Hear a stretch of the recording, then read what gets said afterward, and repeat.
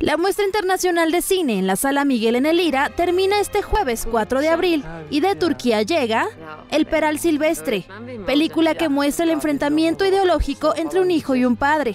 Un joven aspirante a escritor llamado Sinan regresa a la casa familiar mientras trata de reunir el dinero necesario para poder publicar su primera novela. Sin embargo, las deudas de su padre por su afición a las apuestas serán un obstáculo que pondrá en peligro la cohesión de la familia.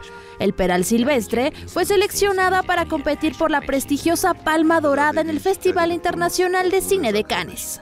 Recuerde, la muestra internacional de cine en la Sala Miguel en el Ira en dos funciones, a las 4 de la tarde y 7 de la noche, entrada general de 30 pesos. Con información de Mariana Lovera, ahora noticias.